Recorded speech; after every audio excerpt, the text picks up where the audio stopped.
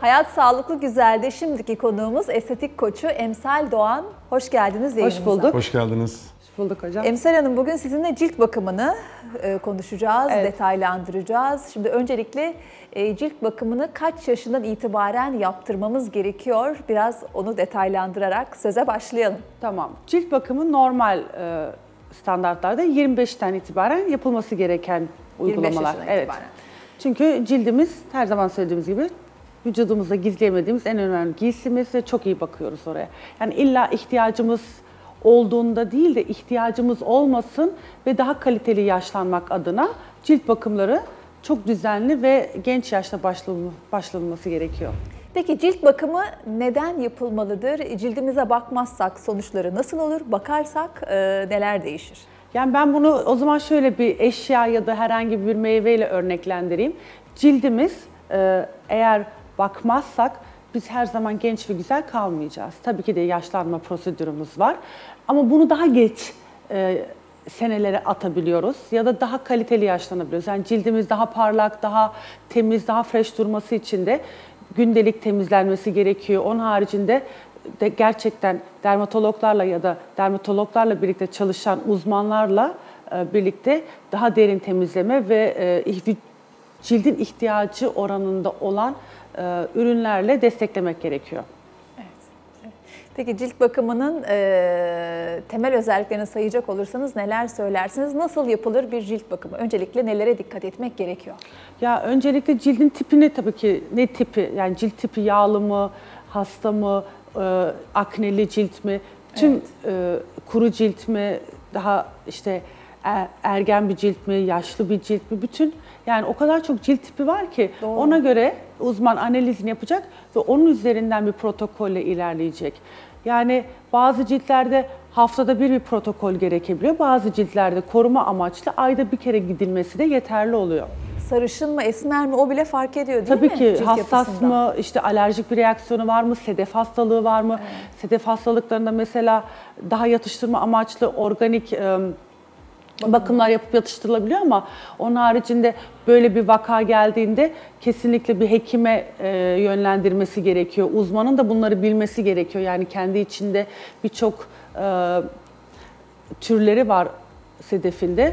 Bu- Bunları da tanıması gerekiyor. Yani cilt sağlığı Tabii. uzmanı olması gerekiyor. Herhangi bir estetisyen ya da böyle e, sadece cilt temizliği değil de gerçekten böyle bir durumla karşılaştığında ne yapabileceğini bilmesi gereken bir uzmanla olması gerekiyor cilt bakımları.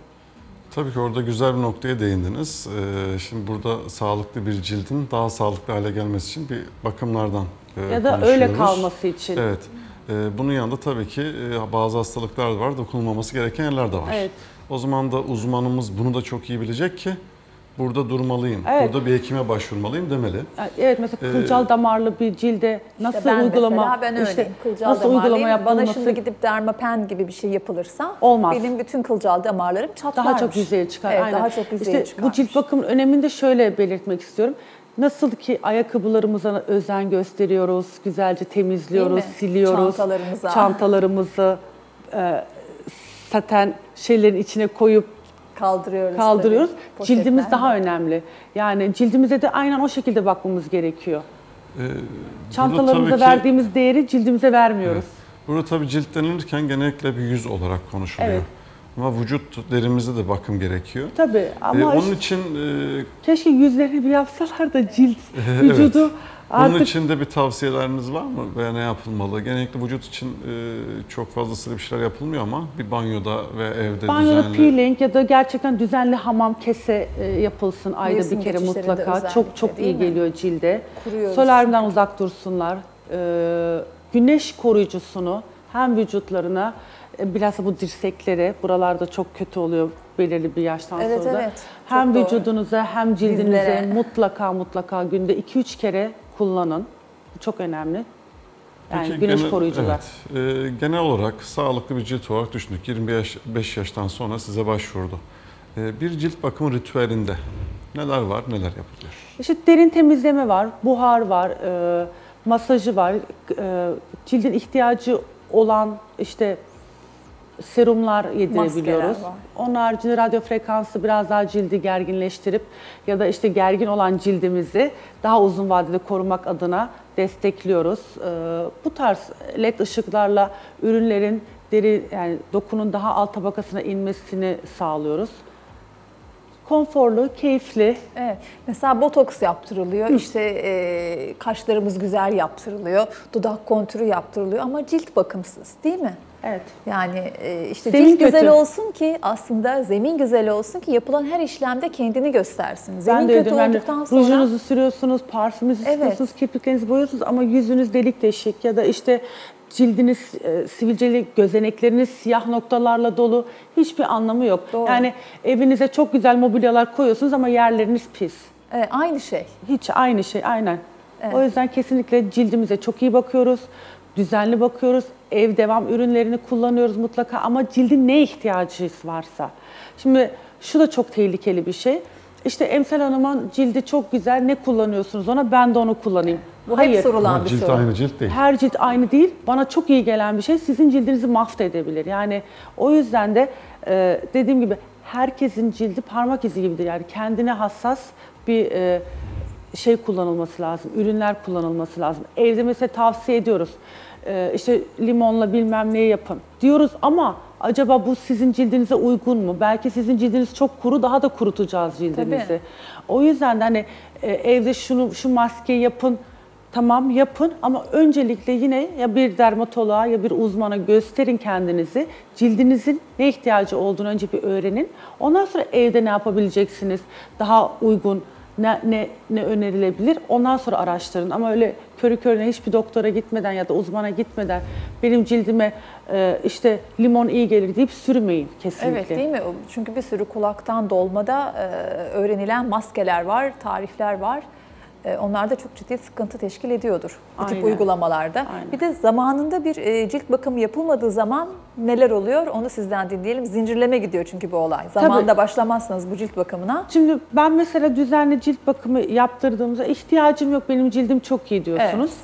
Evet. Tabii 20'li ki de. yaşlar böyle Ama deniyor. ihtiyacınız olmasın diye zaten cilt bakımı önemli. Yani e, dişlerimizi de o zaman fırçalamayalım.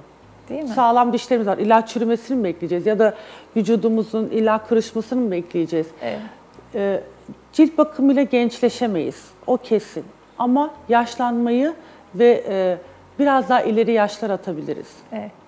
Bir de ergenlik dönemindeki problemleri konuşacak olursak neler söylersiniz? Çünkü çok sıkıntılı bir dönem. O dönemde nasıl davranmak gerekiyor? O, o e, ergenlik dönemi sivilcelerine müdahale etmek ne kadar doğru? İnsanın kendisine müdahale etmesi ne kadar doğru? Burada Evet. nasıl davranmak Ergenlik gerekiyor? sivilceleri zaten eğer organikse zaten geçicidir bunlar. Yani eğer hormonsal bir Hepimiz sorunu yaşadık. yoksa hepimiz yaşadık. Hormonsal bir sebep yoksa mutlaka yine böyle uzmanlar tarafından daha organik bakımlarla desteklenip daha hafifletebilir. Yani o dönemi daha rahat atlatabilir. Ya da eğer tabii ki de çok fazla bir şeyse yine dermatolog, yine bir hekime başvurup kan tahlilleri yaptırması gerekiyor ki acaba neyden Değil mi? kaynaklanıyor? Çünkü 30 yaşına kadar sivilceli yaşayan insanlar var Doğru. yani onu atlatamayan insanlar var ve bunun için bir doktora gözükmüyorlar. Halbuki en önemli, ben her zaman söylüyorum, benim için gerçekten her şeyden önemli olan şey e, cildim. Saçımdan işte şey her cildim yani çünkü onu saçınızı bağlarsınız bir şekilde gizleyebilirsiniz ama yüzünüzü gizleyemezsiniz hiçbir şekilde.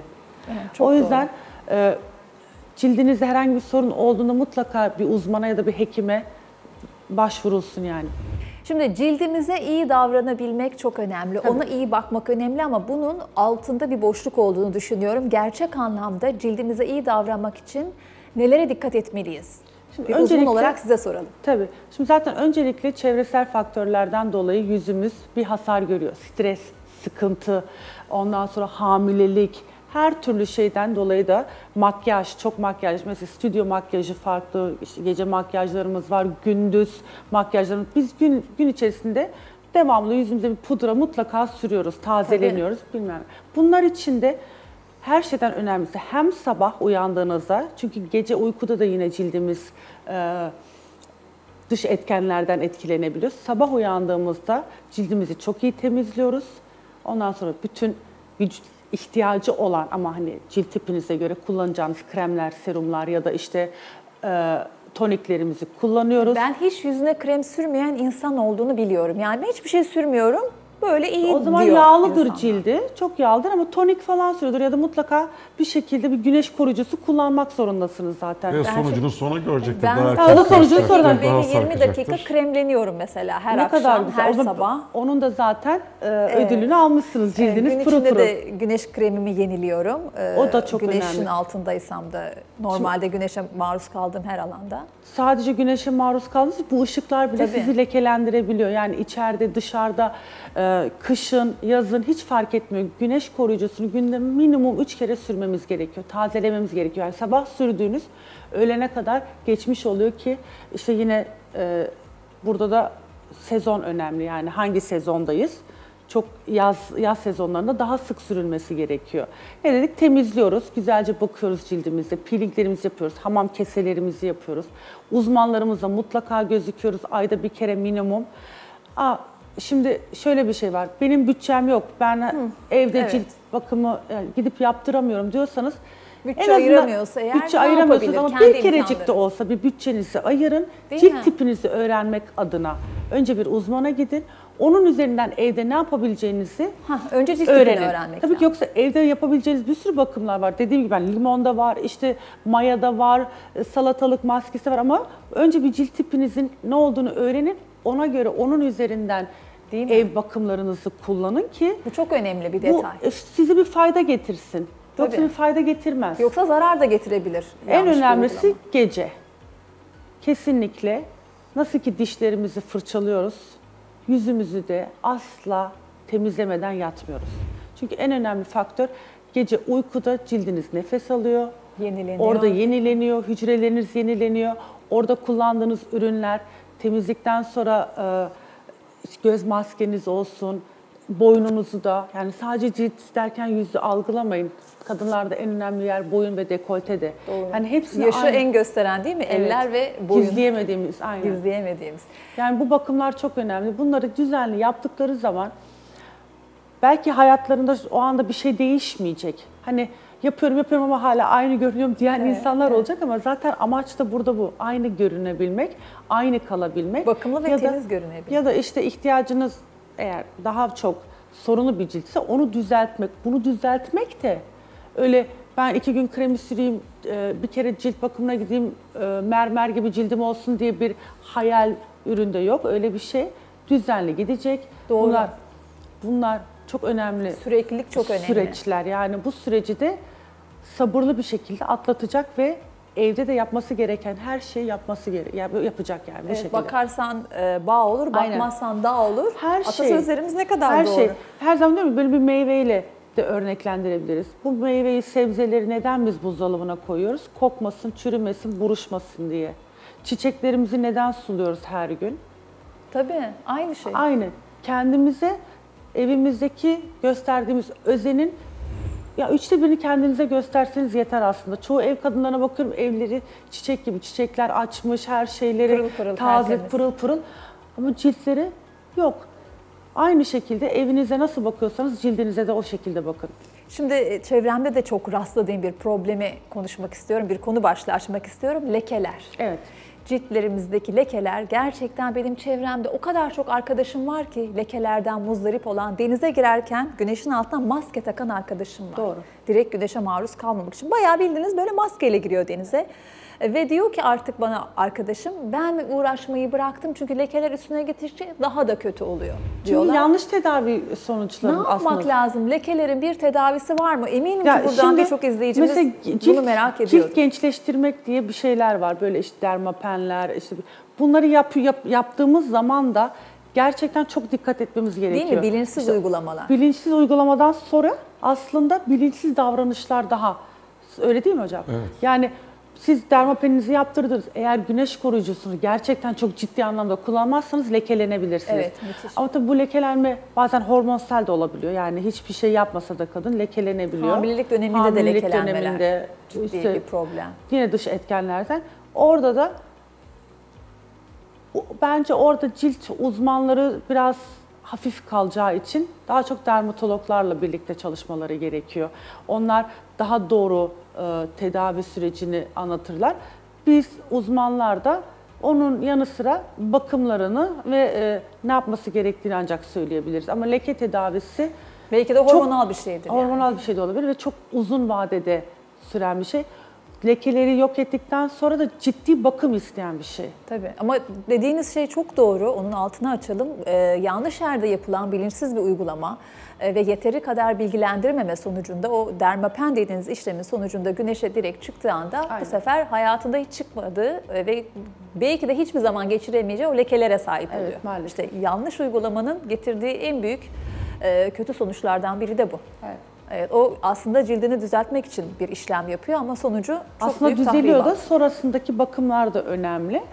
Onu doğru e, takip etmezse tabii ki de bu tarz sorunlar yaşayabilir. Şimdi as- aslında burada güzel bir noktaya temas ettik. Evet leke e, maalesef tek başına e, bir kremle, bir bakımla düzelecek şeyler değil. Değil, evet. Dediğiniz gibi hormonal sebepler, çevresel faktörler de olabilir. E, burada olması gereken de hep konuştuğumuzda siz de ona aslında biraz değindiniz. E, evet bir leke e, bu e, bir aniden olmadı. Hamilelikten sonra oluşan e, lekeler var tabii ki ama ultraviyole faktörler de çok büyük bir etken. Bir şeyi geçirdikten sonra onun tekrar korumazsak olmaması diye bir şey mümkün değil. Tabii. İşte eğer bir leke de varsa onu bile koruyacak tedavilere gitmek lazım. Ve genellikle bu tedavilerde de yapılan tüm işlemlerde dışarıya karşı e, bizi savunmasız bırakıyor. O sırada en iyi korumayı yapmamız Evet. lazım. Çünkü Ve ona göre de o anda e, açık, her gerekiyor. şeye açık. Yani her şeyi açılıyor. kapıyor. Hep şey, her şeyi alıyor. O sırada daha çok dikkat etmek lazım. aslında Verdiğiniz nemlendirici bile daha derine gidiyor. Yani her şey açık. Ne Tabii. verirseniz onu alır cilt. İşte orada güzel şeyler vereceğiz cildimize. Orada yeterli kadar bilgilendirmek lazım. O da doğru yerde işlem yaptırmanın ne kadar önemli olduğunu altını bazen bir doğru kez daha bile çiziyor. bilgilendirirseniz işte Tabii. tembellik diye bir şey var. Ee, Yani ben her gün bunu mu süreceğim yüzüme? Yani bir dakikanızı bile almaz aslında. Tamam siz Evet. 15 dakika sürüyorsunuz ama siz bir dakikada sürebilirsiniz. 15 dakika ayırmak Ben böyle yedire yedire biraz masajlar yaparak Ama işte dediğimiz gibi siz öyle yapıyorsunuz. Evet. Bunun sonucu belli. ben e, cildi hareketlendirmenin de çok önemli olduğunu, kan dolaşımını çok Kesinlikle, hızlandırmanın önemli kesinlikle. olduğunu düşünüyorum. Ben ellerimle mesela Ve masaj yaparım O cildime. ölü hücre ayda bir kere Evet. temizlenmesi gerekiyor o dokunusu. Yoksa işte böyle e, kirli bir görüntünüz olur. Parlak değil, böyle mat bir görüntünüz olur. Peki e, cilt bakımı sonrasında oluşan bir tahri, tahrişin e, nedeni ne olabilir diye sormak istiyorum. Bir reaksiyon gösterebilir cilt. E, ne yapmak lazım? O durum insanı bir panik haline de getirir Tabii diye düşünüyorum. böyle- Belli işlemler Öyle durumlarda sonrasında. Allah korusun tabii ki de başımıza gelmesin ama alerjik reaksiyona karşı aslında yapabileceğimiz hiçbir şey yok. Evet, alerjiler. hani çok alerjik bir bünyesi varsa danışanın önce ona ufak bir alerji testi yapılır. Hani yüzü kızarıyor mu bu kremi sürdüğümüzde. Tabii burada da danışanın da işte benim alerjik bir bünyem var demesi çok önemli. O yüzden de önceden bir konsültasyon yapılır zaten. İşte neye karşı alerjiniz var, nasıl bir cilt tipiniz var falan bunlar konuşulur.